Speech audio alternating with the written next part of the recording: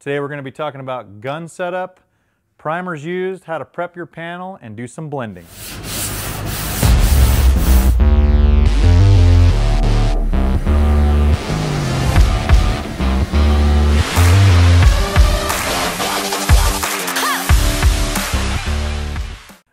We're starting out today with panel prep.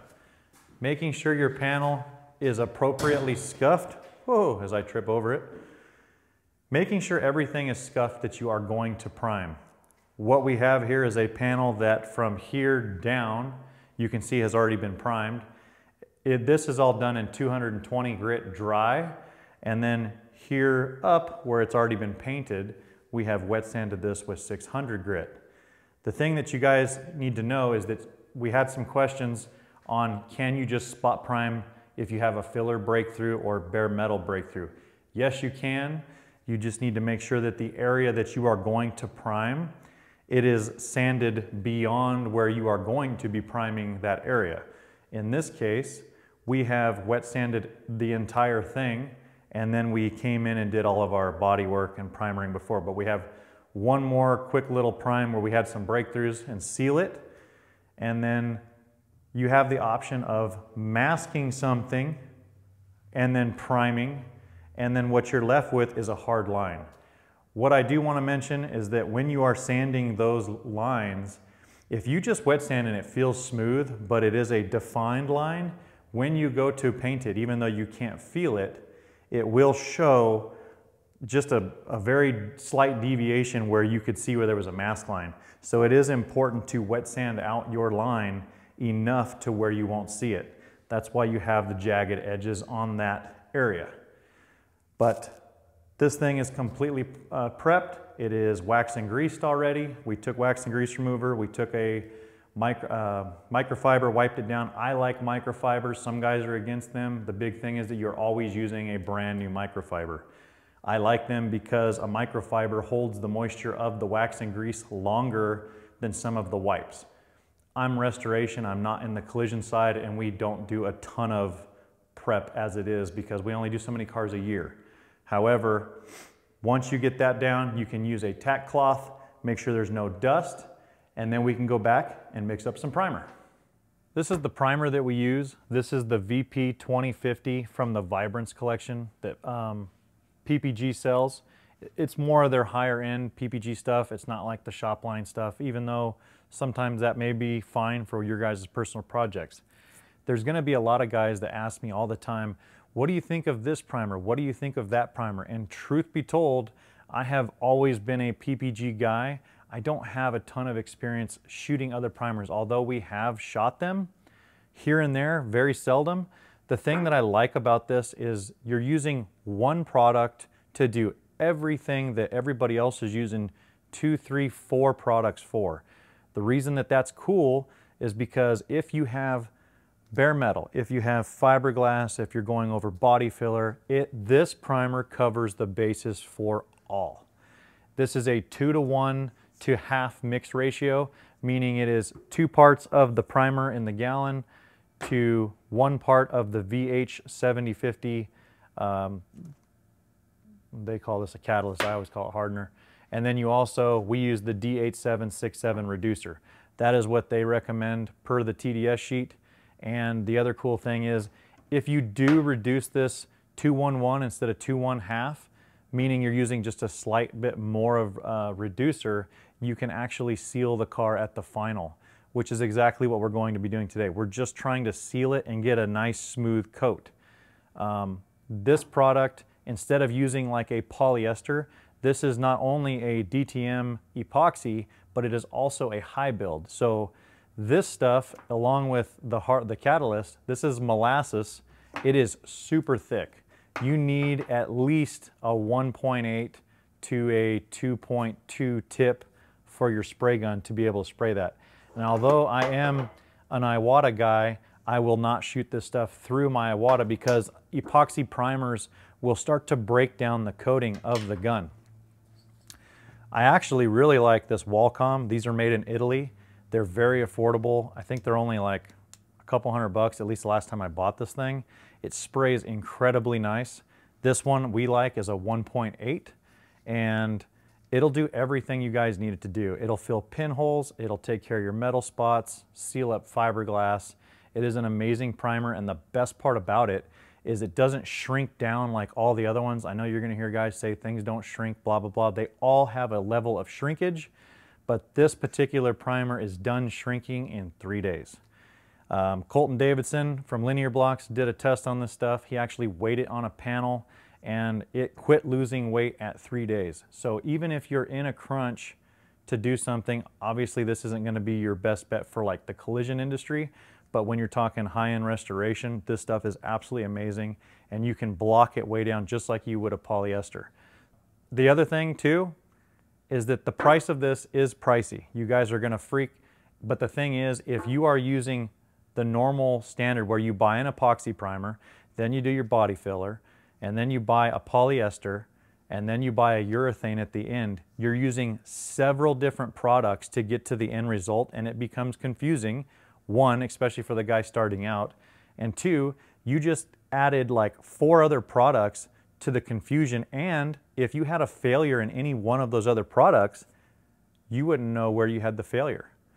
With this, you're narrowing it down to just this primer and just body filler. It's a huge benefit the amount of money that you're going to actually save by not buying four other products, you buy one, and it's a very high quality. So we're gonna take you guys in the booth. We're gonna mix this up in our cup, 2-1-1, so that way it's more of a sealer. It's not 2-1 half, it's not quite as thick. And then we are going to show you guys how to set up your gun appropriately so you get a really nice finish on your panel.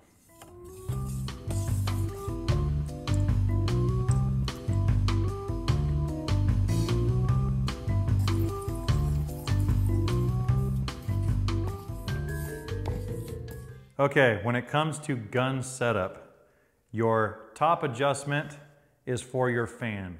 From narrow to wide, pretty straightforward. As far as this one goes, this is your needle adjustment on how much paint is going to flow out of the gun onto your panel. And then you have your air pressure on your regulator and or your other adjustment on the gun. When you guys are starting and you have no clue where to start with whatever gun that you're going to use, any good painter should be able to grab any gun, even if it's a Harbor Freight gun, and at least pull off something decent. Now, I will say that Walcom, for the bang of the buck, is probably just as good as any other SATA or Iwata gun there is. You guys can argue with that all you want, but that's the truth. Start with your needle dialed all the way in to where no paint comes out. Take a test panel and then get six to eight inches away from your panel here's where everybody's going to be different. And especially when you're starting, everybody tends to be very robotic and slow, and that's why you end up getting runs and sags everywhere. Well, the part of the problem that you guys get runs and sags and orange peel and all these issues is because you don't take the time to set this gun up. So how you do that is go per a gun manufactured specification on air pressure, whether it be 20 to 30 PSI, I personally shoot right around 28 to 30 PSI as just a baseline. And I tend to shoot it, it doesn't really matter what gun I use, it's just kind of habit.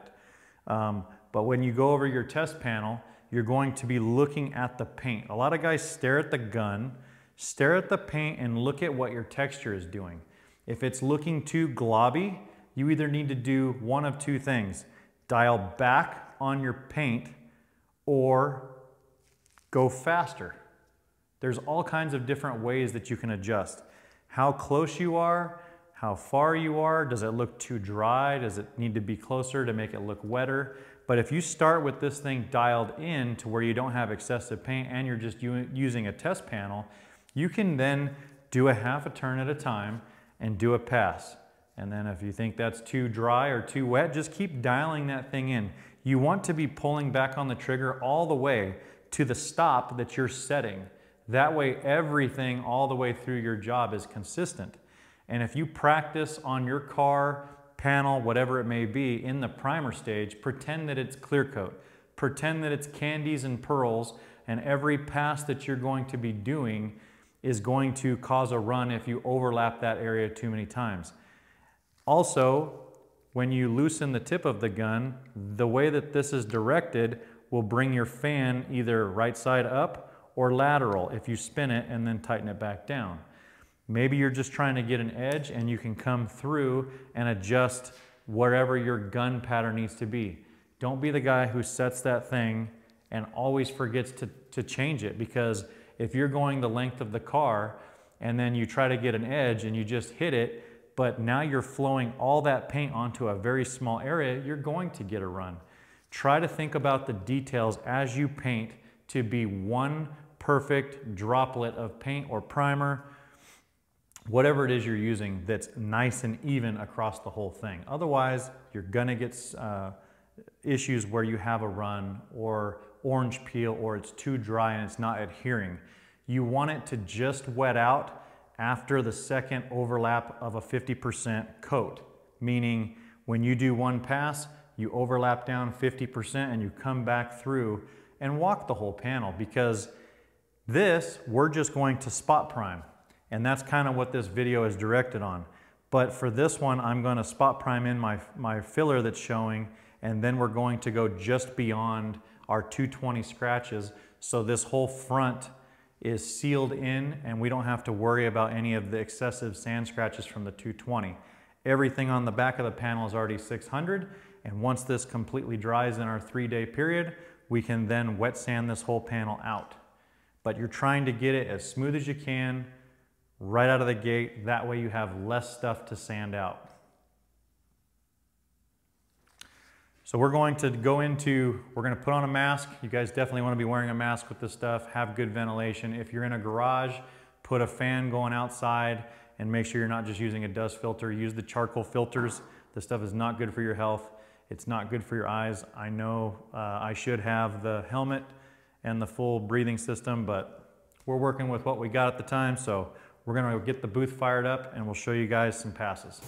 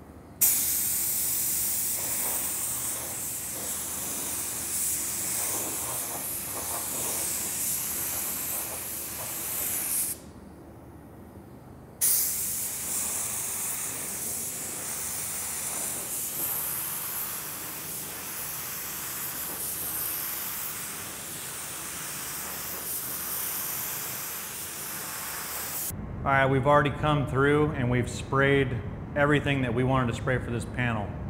Now, when it comes to a blend, let's say this is not even primer, let's say this is base coat and it's a metallic.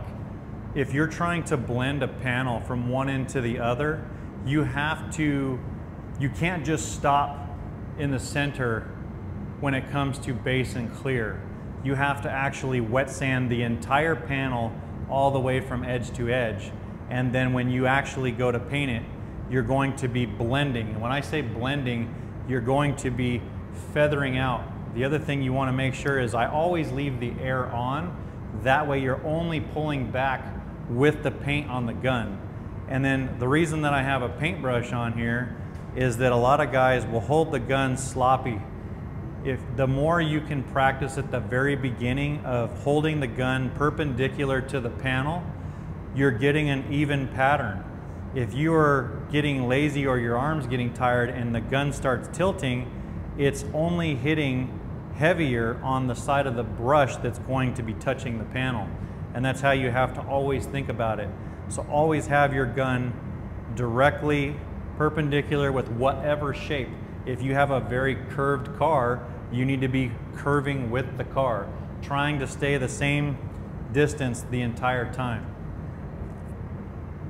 So if you had base coat that you wanted to blend, or even a primer edge, you don't want it super heavy right here where you end. In other words, I like to paint really close. And if you came in and just stopped and didn't blend it. If you guys notice, it does have a little bit of gray hue, and that's also going to help you when you come back and wet sand this panel out. It will feather between the two so you don't have such a hard edge. If we have been training you guys on doing filler so evenly and perfect the way that you block it, when you go to block out this primer, you want it to be as even as you can as well. So take that into consideration when you prime that if you have it this way, it's loading the primer up or the paint up more so on one end of the other. So consistency is key through this entire process. If you have a small spot that you want to spot prime instead of doing half of a fender, you would basically just come in and prime that spot and whisk out your edges. We whisk out body filler, whisk out your edges on the primer too. Just make sure you have everything sanded in that area so nothing uh, does not adhere. Because let's say you're putting a graphic through this thing, if you go to pull your tape and you didn't have it sanded from like here this way, it's going to rip all the paint off. That's also why you'll have a lot of painters that won't even want to touch anybody else's work that's already done the body work. That's why we don't do it. If I can't guarantee that the adhesion is there, you're just looking for problems because we've had so many cars in past years when we were learning this ourselves that you would just have delamination problems all over the board. Even a Brillo pad will help you guys for adhesion. So the more you go through this process, the more you'll understand that the details in every one of these things matters. I hope this helped you guys with gun setup. If you guys have any comments or questions, put them in the comments section. Hope you guys liked it. Please share it, helps the channel. And we will have some of the description of this stuff in the descriptions of the, the video itself. Continue to learn and share what you know, guys. We'll see you next week. When I'm talking about feathering primer, I'm talking about as you prime, you bring the gun out in this motion. And then as you are coming out, you are letting off of the paint. You're not letting the air stop. You always want to be on the air but as you come back in, you are blending it back in.